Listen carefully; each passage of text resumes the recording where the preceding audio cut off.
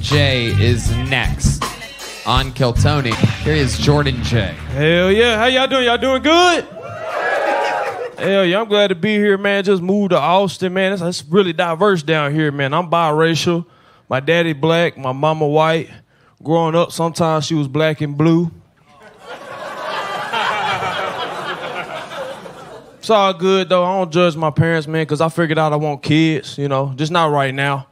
Not right now. They doing stuff I can't get behind. Like if I have a daughter, she gotta stay a girl.